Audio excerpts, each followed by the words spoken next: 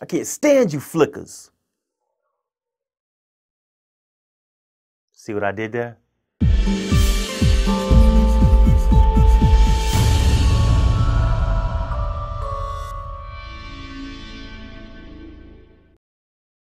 Hey Power Director peeps, how y'all doing out there? My name is Maliek and I'm back on your screen with more Power Director love from PowerDirectorUniversity.com.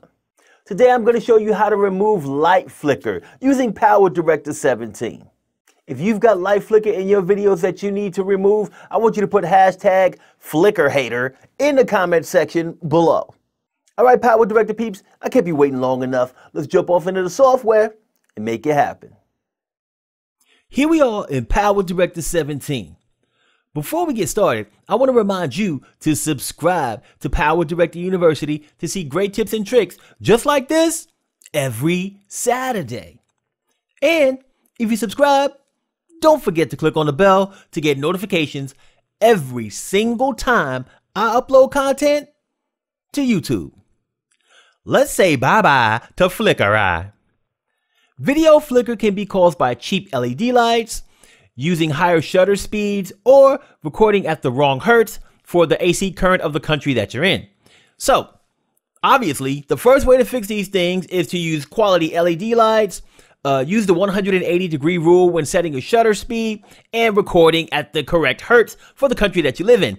But if you made one of those mistakes and you need to fix your video and your video and your video, not your video, your video is all flickery, I'm going to show you how to fix it in Power Director 17. As you can see, I have a clip in the timeline ready to roll. If we play this clip back, you'll see that the lights, the blue lights on the side, they getting their flicker on. Uh, that LaMetric clock in the background is getting this crazy, crazy, crazy flicker on. It's all flickery. And we want to fix that, right? So I'm going to show you how to go ahead and get that done. And what we're going to do is we need to fill in the frames where there are flickers with frames where there are not flickers. All right, I'll show you how to do it. It's pretty easy. So the first step is you need to copy your video clips. So what you want to do is you want to right click on this clip. Then you want to go up to copy and you want to left click on that. Then you want to go down to track two, left click that.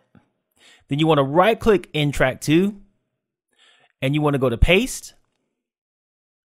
And then you want to go to paste and overwrite. Then you want to go to track three, left click on that. Now, if track three is not enabled, you can just click on the add additional video and audio tracks to the timeline button. And using that, you can add another timeline track. So I'm going to left click that. Then what you want to do is you want to right click. You want to go to paste. And then you want to go to paste and overwrite. So now we have multiple clips on the timeline, and now you can fill in those gaps where there's flickers with areas where there's not flickers.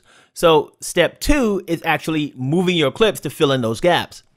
So what you want to do now is you want to stretch out your timeline so that you can see each frame on your timeline. Then you want to go to track two and left click on that. When you see this little hand appear, you want to hold down your left mouse button and move this over one frame and then let go. Then you want to go to track three. You want to do the same thing, left click on that clip. When you see the little hand, hold down your left mouse button and move this over two frames. So now each one of these clips is filling in the gaps of the other clips. So now that we're done with that, we need to move on to step three. And in step three, you need to change the opacity of your clips. So you want to go to the clip on track two, and then you want to give it a double left mouse click, and that will open up the PIP designer. In the PIP designer on the left hand side, under the properties tab, you should see a listing for opacity. You want to go over here and you can double click on it and you can type in 67 and hit enter. That will make the opacity 67%. So you want to click on OK. And then you want to go to track three. You want to give that a left double mouse click as well. Should open up the PIP designer. Make sure you're on the property tab again. Go down to opacity, double click that, and then type 33 and hit enter and click on OK. So now what you've done is you've added layers to fill in those gaps and you can tell the difference blends in throughout the three videos. So basically you're blending these three into one by changing the opacity and moving over one frame past the previous track that you're on. So now what we'll do is we'll play this back and we'll take a look at how it looks now that we've made these changes. The flicker has been tremendously reduced. And if I were to uncheck track two and track three play this again, pay attention to that clock or the light on the left and you'll see a lot of flicker, a whole lot. And then if I enable these again and play this again, we'll see a lot less flicker. Beautiful! I love it, love it a lot. Now, if you still see some flicker, you can add more copies of the original clip and follow the remainder of the steps by moving it over, changing the opacity until you end up with the result that you like. And that's it, people.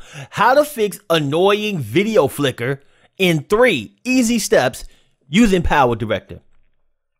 Don't forget to check out more of my content to learn how to use Power Director. If you decide that you like Power Director 17 and you want to buy or upgrade to the software, I'll leave some links in the video description that you can use to purchase it. Those are affiliate links. So if you use them, I'll get a small commission, which will help me continue to create content that teaches you how to use Power Director. You'll pay the same price as if you went to the site on your own and purchased the program. So if you want to help me help you, use the affiliate link. All right, Power Director peeps, I want to thank you so much for watching this video all the way through to the end. Truly means the world to me. If you have any tutorial requests that you'd like me to make, please head over to the video description and complete my tutorial request form. If you got any comments, questions, you just want to talk or chop it up with your boy, leave those things in the comment section below. And last but not least, if you want more information, education, training, tips, and tricks on how to use Power Director, you got to watch more of my content. And then you got to subscribe to my channel so that you don't miss out on any of the learning and all of the fun. Thanks for watching. We'll see you again soon.